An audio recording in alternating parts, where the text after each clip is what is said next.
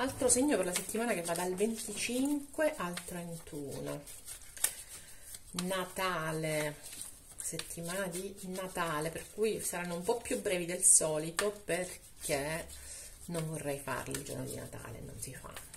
Allora dunque vediamo qual è il prossimo segno il sesto segno della settimana. Qual è? il Capricorno diritto così boom il Capricorno, segno di terra, il segno che ha in questo momento il Sole dalla sua parte. Sole e Plutone si sono incontrati in questo momento, si stanno incontrando in Capricorno. Occhio a tutto quello che ha a che fare con la Terra, con l'interno della Terra e col potere del Sole, delle fiamme. Eh? Il resto Capricorno che è avvantaggiato chiaramente non solo da, da Sole e Plutone, ma è avvantaggiato, tra l'altro sono gli ultimi colpi di eh, Plutone in Capricorno, perché poi il 24 passa in Acquario per i prossimi decenni, o se le dire per i prossimi vent'anni. Quindi, beh, lascia quasi definitivamente il Capricorno. Allora, allora, Urano e Giove sono in toro e vi sono amici perché aiutano i segni di terra, ma il 31 Giove torna diretto. Quindi finalmente quella corda ipotetica che ci stava trattenendo tutti, soprattutto i segni di terra, ma tutti indietro con Giove retrogrado, adesso viene tagliata, quindi andiamo finalmente, torniamo tutti ad andare avanti, quindi un 2024 che si apre con lo scoppiettio di questo Giove che torna diretto in toro, quindi eh, facciamo largo al benessere, facciamo largo alle cure, facciamo largo alla, eh, alla famiglia, alla cura della famiglia, facciamo largo anche al nostro benessere fisico ok? I nostri rapporti con genitori, familiari. Allora, questi segni di terra. Sempre dalla vostra parte, Capricorno, abbiamo Nettuno e Saturno che sono in pesci. Venere in Scorpione, ma fino al 28 perché il 29 quindi vi aiuta anche la Venere, quindi guardate che energie positive che vi arrivano, ma il 29 Venere passa in Sagittario, quindi nella vostra dodicesima casa e raggiunge Marte e raggiunge Mercurio retrogrado. Quindi grande forza per questo Capricorno che non ha pianeti opposti, tranne questa settimana, proprio il 27 a mezzanotte e mezza, eh, si, si forma un plenilunio che effettivamente ha un'energia antipatica per il Capricorno perché è in opposizione. Questo non significa che chissà succede qualcosa di male, no, semplicemente un'energia tosta. Plenilunio in cancro questa settimana, il 27 alle 12 e mezza circa, mezzanotte e mezza, ok? Allora Capricorno, mi vieni col tuo arcano maggiore in queste carte, il tuo arcano maggiore che è il diavolo, ma mi vieni imprigionato, imprigionato da passioni, imprigionato da pensieri, imprigionato da qualcosa da cui non riesci a liberarti. Andiamo a vedere effettivamente qual è la tua energia. Energia interna. Il 4 di bastoni, energia esterna. Il 6 di denari, il 5 di denari, grande mancanza. Mancanza economica potrebbe essere quella che ti che è un tarlo in questo momento per te o mancanza affettiva. Mm. C'è questo 4 di bastoni e guarda, guarda caso ho preso le carte che erano cascate, hanno anche questo il 4 di bastoni sotto, quindi direi che effettivamente c'è un matrimonio o un rapporto stabile che è, mm, che è veramente stabile nella vostra mente, ma avvertite la mancanza di qualcosa adesso andiamo a vedere che cosa. Però ripeto è molto stabile la nostra mente. Non escludo per qualcuno le fiamme gemelle vedremo 10 di spade. Imperatrice. Eh, erano cadute quindi mettiamo dritto. Cavaliere di spade e cavaliere di coppe. Quindi c'è una parte vostra razionale e una parte invece sentimentale ok. Devo dire che qui c'è molto il senso del mh, mm, rapporto della creatività della nascita ehm, e anche di un senso di dolore quasi di tradimento nei confronti o da, da una persona che potrebbe essere una madre, una figlia, insomma. Questi sono i rapporti soprattutto privilegiati questa settimana per il Capricorno, ma non solo chiaramente. C'è il senso di voler mettere radici, di voler creare qualcosa di solido, ma come se non ci si riuscisse in questo momento siamo all'inizio di questa creazione, se rende conto anche il Capricorno, che dopo, però è come se si... C'è un Capricorno, guardate che ci caso, vi faccio vedere, che è quasi ingabbiato, avevamo visto anche lì la gabbia, no? È quasi ingabbiato, ingabbiato nei confronti di un rapporto con una madre o ingabbiato nei confronti di un rapporto che deve crescere, che sta per crescere, ha quasi paura di mollarsi, questo voi sapete. Dobbiamo anche dire che c'è il visionario qui quindi c'è da parte del Capricorno tanto sogno qui abbiamo il visionario e qui il sognatore tanto sogno sta tanto sognando ci sono dei magari ci sono effettivamente eh, con questo plenilunio al contrario non è escluso che possa fare dei sogni non lo mettiamo in dubbio però è come se quello che sta sognando il Capricorno è creare qualcosa di stabile creare qualcosa di solido, ok? È proprio la creazione di qualcosa di solido. Nel contempo però si sente la mancanza di un certo equilibrio, se lo devo dire io, o la mancanza di qualcosa di solido, può essere una mancanza economica, può essere di un affetto, di un qualcuno che in ogni caso ci dà solidità, ok? Il 6 di denari esternamente mi dà ancora il 4 di bastoni. C'è questo senso. Il 6 di bastoni, il 3 di coppe, questa carta che non c'entra nulla qua e che è il 2 di coppe in queste carte che sono mischiate. No, ed è bello che è il 2 di coppe, anche adesso c'è pure il paggio di di tutto.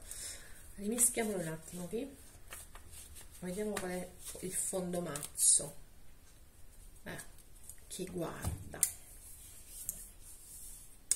esternamente c'è ancora questa situazione stabile eh. io credo sia il momento in cui il Capricorno stia creando una situazione stabile in cui c'è equilibrio tra il dare e l'avere però questa situazione in qualche modo è come se la stesse a guardare dall'esterno non, non riesce a immerger, immergersi all'interno di questa situazione, è come se stesse dall'esterno, ingabbiato in tutta una serie di credenze, di mancanze, di pensieri negativi, anche se non ci sono qua i pensieri negativi, ma c'è il pensiero del tradimento che è molto forte, quindi siete ingabbiati in voi stessi, la mia sensazione è che voi siate assolutamente ingabbiati in voi stessi, mentre invece le carte mi parlano di situazioni che sono molto belle e che potrebbero essere trionfanti, soprattutto situazioni stabili che stanno che affondano radici, che hanno un tetto, nel senso di proprio solidità, ok? Andiamo a vedere adesso qual è la settimana. Quindi vi manca la stabilità. A qualcuno di voi manca questa stabilità. La sta creando, ma uh, la crea perché manca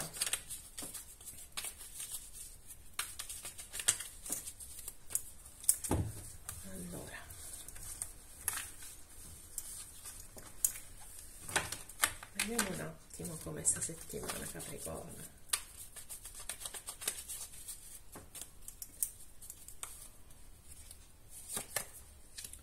La papessa al contrario, il 4 di spade, l'eremita, il 2 di spade, il papa al contrario, la temperanza al contrario. Nonostante le carte fossero belle, avevo avuto la percezione che qualcosa non andasse. Peccate di superficialità, non volete andare nel profondo perché avete paura dello stress, avete paura di...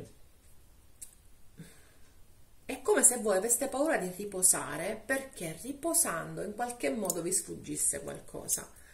Eh, quindi preferite planare sulla superficialità delle cose piuttosto che andare nella profondità e ascoltarvi ok? Eppure c'è bisogno di, di, di, riposo perché siete particolarmente stressati, secondo me.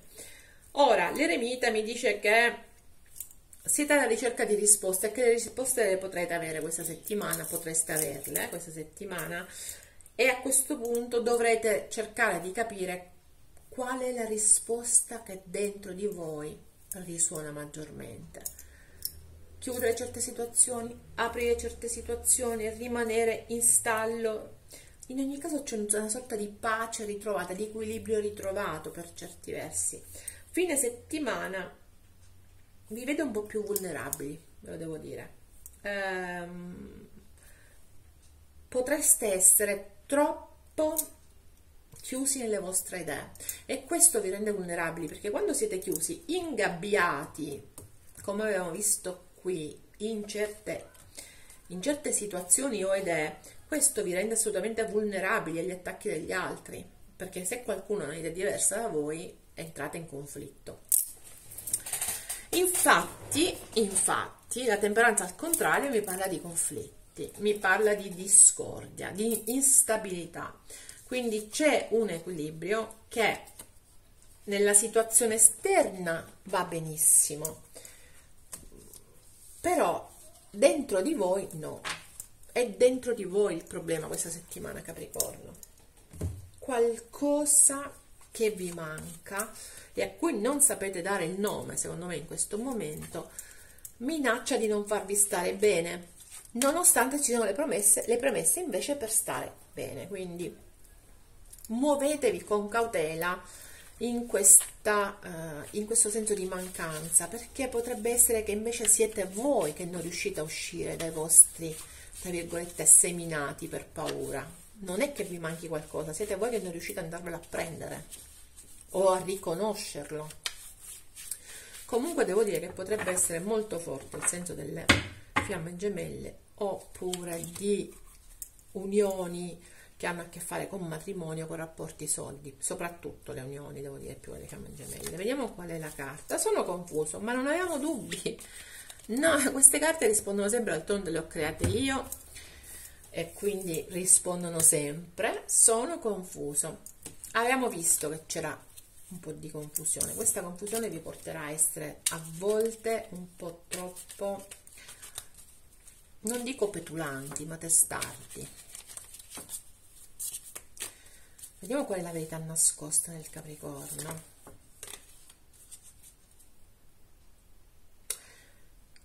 Ritrovare, trovare, capire qual è la verità che mi ha fatto male.